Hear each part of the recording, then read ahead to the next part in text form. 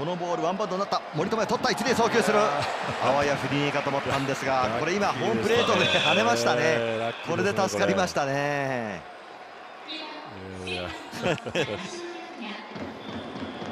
先ほどピンチランナー金子裕二が出ておりましたがライトのポジションに入っています。そしてライトの斉藤翔がレフトへ。ショートには鬼崎。この場面。でもまあホームプレートではなかったんですね。グラブをうまく持っていってますね、えミットをね